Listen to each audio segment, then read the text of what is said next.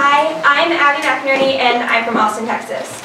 For my copy house, I decided to read two poems that I wrote while sitting upon a large, large pile of snow at Pemaquid Point.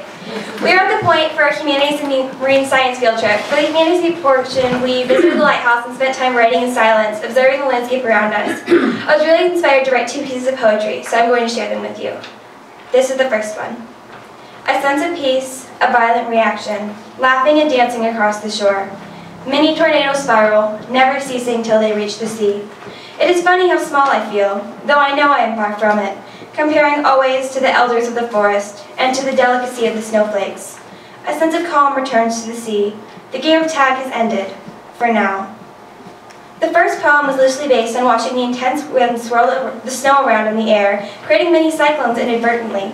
I was also noticing how small I was in comparison to the lighthouse, which was really tall.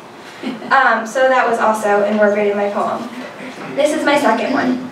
A storm seems to approach, inching its way deep into the heart of the sea.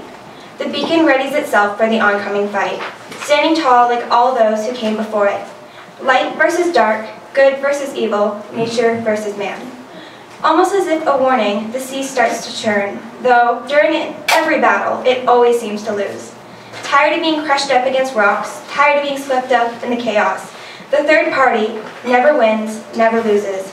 Amongst the salty spray, a quiet silhouette emerges. The beacon and the storm share a silent realization. They have an audience. The second poem was based on a story I read years ago about the daughter of a lighthouse keeper, conveniently named Abigail, just like me, and her struggle to help keep the lighthouse going through a violent storm. I can remember sitting on the couch in my living room reading that book as my family was spread out around me, my dad and brother building some Lego tower while my mom was in the kitchen making something that I probably wouldn't eat. Um, this seems to transfer to my life here so easily. I now sit on my bunk reading a book as I watch Sophie and Bunny screaming at each other in a violent game of slapjack, while I know that Gail is downstairs in the farmhouse cooking something that I'm positive I will not eat.